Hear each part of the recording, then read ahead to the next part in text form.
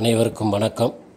இப்போ நம்ம இந்த வீடியோவில் என்ன பார்க்க போகிறோம்னு பார்த்தீங்கன்னாக்கா இப்போ மாணவர்கள் கேட்கக்கூடிய டவுட்ஸ் தான். தற்போது பிஎட் இரண்டாம் ஆண்டு படிக்கக்கூடிய மாணவர்கள் பிஎட் ஃபஸ்ட் இயர் படிக்கக்கூடிய மாணவர்கள் கேட்கக்கூடிய கொஸ்டின் சார் எங்களுக்கு ரிசல்ட் வந்து அடுத்து எப்போ சார் வரும்?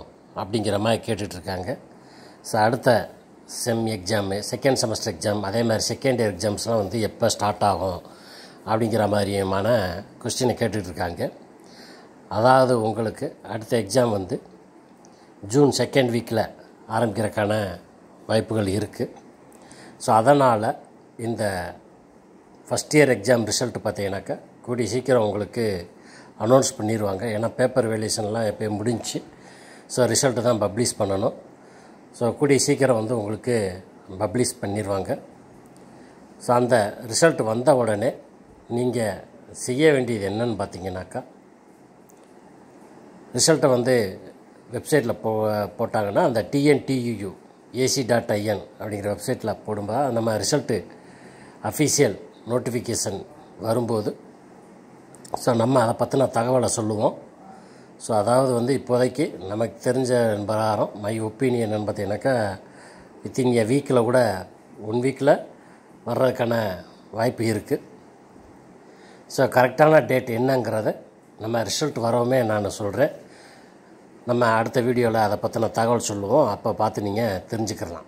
ஸோ டிஎன்டி வெப்சைட்டில் போட்டிருந்தாங்கன்னா ஸோ நீங்கள் வெப்சைட்டில் போய் உங்களுடைய ரிஜிஸ்டர் நம்பரை வச்சு நீங்கள் டவுன்லோட் பண்ணி பார்த்துக்கலாம் ஸோ அப்படி ரிசல்ட் பார்க்கும்போது நீங்கள் அந்த ரிசல்ட்டை வந்து டவுன்லோட் பண்ணி சேவ் பண்ணி வச்சுக்கோங்க.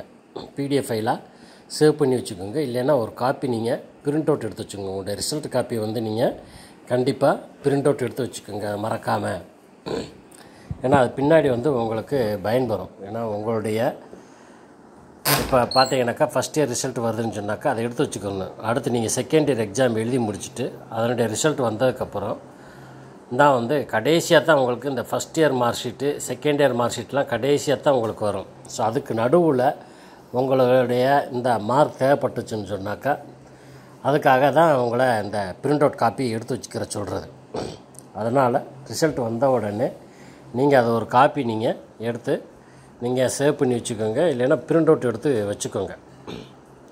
ஸோ வெப்சைட்டில் வெளியிட்டாங்கன்னா அப்படி இல்லை சர்வர் ப்ராப்ளம் அந்த மாதிரி வந்துச்சுன்னு சொன்னால் அவங்க வந்து டைரெக்டாக காலேஜுக்கே ரிசல்ட் காப்பி அனுப்பிச்சிடுவாங்க ஸோ அது வந்து காலேஜில் இருக்கும். நீங்கள் காலேஜ் மூலியமாக உங்களுடைய ரிசல்ட் என்னங்கிற தகவலை நீங்கள் கேட்டு தெரிஞ்சுக்கலாம்